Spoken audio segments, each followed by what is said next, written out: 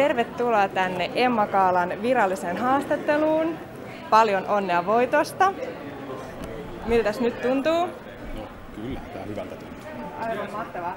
Esittelisitkö vielä itse tähän kameralla ja kertoisit, mistä olet tämän Emman voittanut?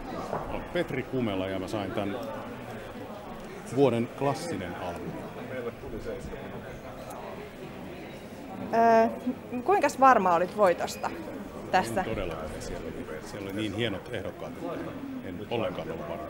Eli tuli täytenä yllätyksenä nyt positiivisena. Ihan semmoisena niin kuin jo hyvänä yllätyksenä.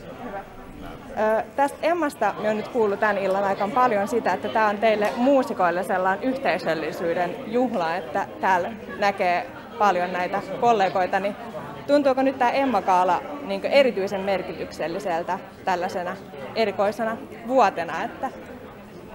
Tava, tavallaan kyllä jo, että on se niin kuin, siitä on pitkä aika, kun on kokoontunut noinkin monen ihmisen kanssa, että, se, että siellä on niin paljon kollegoita ja ihmisiä, joita arvostaa, niin on se, on se hieno. Joo.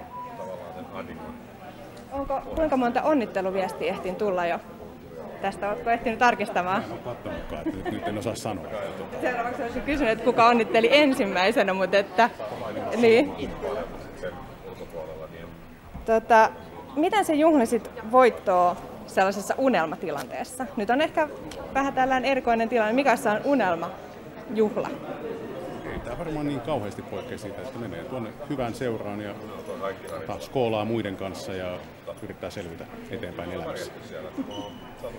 Hei, kiitos paljon tästä haastattelusta ja paljon onnea voitosta. Ja toivottavasti kuulemme pian myös uutta musiikkia.